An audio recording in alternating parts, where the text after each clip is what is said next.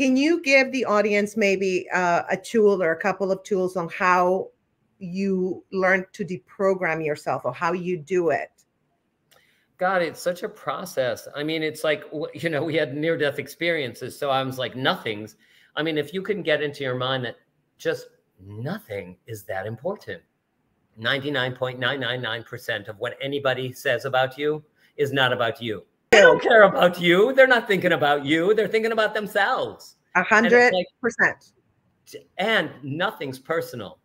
I mean, it only me, you know, your perception is what creates your reaction. So if you can just perceive and see everybody as loving and fabulous and they want to support you, yes. that is really how they're going to respond to you. And if they don't, you don't need them.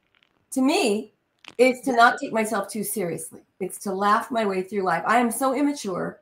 And I have to say that's what's kept me young is to be immature, yes. to see the silliness, to have a sense of wonder, and to be delighted that by everything. So important to be um, of service to the humanity, to yes, in general, but 100%. especially addicts and alcoholics, since that's my thing.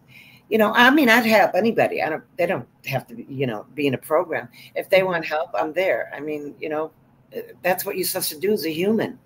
Because I want them to do that for me if I'm in trouble.